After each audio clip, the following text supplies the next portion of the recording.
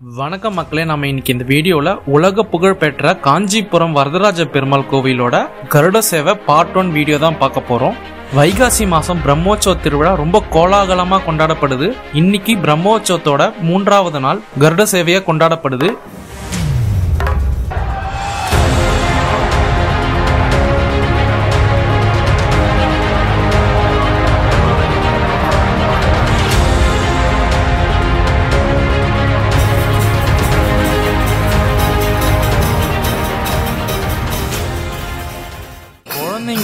வயசானவங்க வரைக்கும் பஜனை பாடிட்டு ஆடிட்டு சாமி கும்பிட்டு வைபை வேற லெவலில் இருக்குது இன்னைக்கு நம்ம சேனலில் கருட சேவையோட வரலாறு என்ன சிறப்பு என்ன மக்கள் எப்படிலாம் கொண்டாடுறாங்கன்னு இந்த வீடியோவில் பார்க்கலாம்.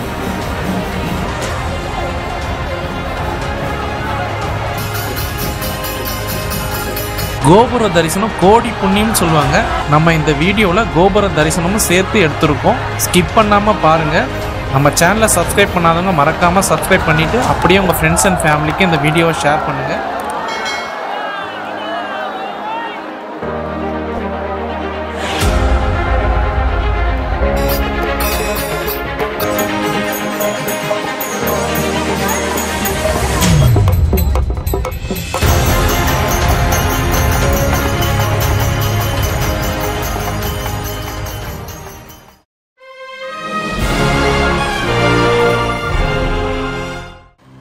காலையில் ஒரு மணிக்கு எழுந்து கோயிலுக்கு போயாச்சு. ஏன்னா கருட சேவை வந்து ஃபுல்லாக நம்ம ஷூட் பண்ணலான்னு சொல்லிட்டு பிளான் பண்ணி போயிருந்தோம்.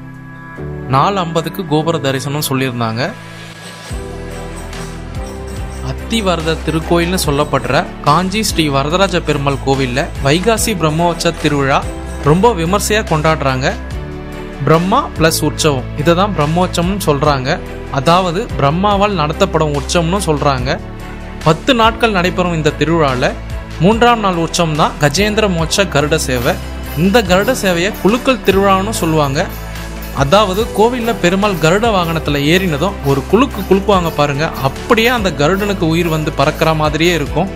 இந்த கருட சேவையோட வரலாறை பற்றி சொல்லணும்னா பிரம்மாவும் சரஸ்வதியும் ஒருத்தர் ஒருத்தர் பிரிஞ்சு இருந்தப்போ பிரம்மா விஷ்ணுவை வேண்டி யாகம் நடத்துகிறாரு பிரம்மாவோட வேண்டுதலை பார்த்து விஷ்ணு பிரம்மாவையும் சரஸ்வதியும் சேர்த்து வைக்கிறாரு. இதனால பிரம்மாவும் சரஸ்வதியும் சேர்ந்து விஷ்ணுவுக்காக விழா எடுத்ததா சொல்றாங்க. இன்னும் பல சிறப்பம்சங்கள் இந்த கருட சேவையில இருக்குங்க. எல்லா பெருமாள் கோவிலையும் தான் கருட சேவை இருக்கு. ஆனா இந்த கருட சேவையோட ஸ்பெஷல் என்னன்னா இந்த ஸ்தலத்துல தான் பெருமாள் கருட வாகனத்துல வந்து கஜேந்திரனுக்கு மோட்சம் கொடுத்ததா சொல்லப்படுது. கருட சேவை அன்னைக்கு பெருமாள் தான் தலையில போடுற தொப்பாரம் வருஷத்துல இன்னைக்கு மட்டும்தான் போடுவாரு. அப்புறம் கருட சேவை அன்னைக்கு கோபுர தரிசனம் சிறப்பு மிக்குது. பதினாறாம் நூற்றாண்டுல ஷோலிங்கல்ல வாழ்ந்த தொட்டாச்சியார் வருட வருடம் கருட சேவை பார்க்க வருவார். ஒரு வருஷம் அவரால் வர முடியல. தான் நிலையை எண்ணி கஷ்டப்பட்டு ஒரு குளக்கரையில் பெருமாளை நினச்சி வேண்டிக்கிறாரு. உடனே பெருமாளும் அந்த குளக்கரையிலே ஆச்சாரியாருக்கு கோபுர தரிசனம் தந்ததாக சொல்லப்படுது. அதுவும் அதிகாலை நேரத்தில் கருடனை தரிசனம் பண்ணால் நம்ம நினைக்கிறது எல்லாமே நடக்கிறதுன்னு நம்பிக்கை இருக்குது அப்படிப்பட்ட கருட சேவையை என்னோட சேர்ந்து இந்த வீடியோவில் பார்க்கலாம் வாங்க.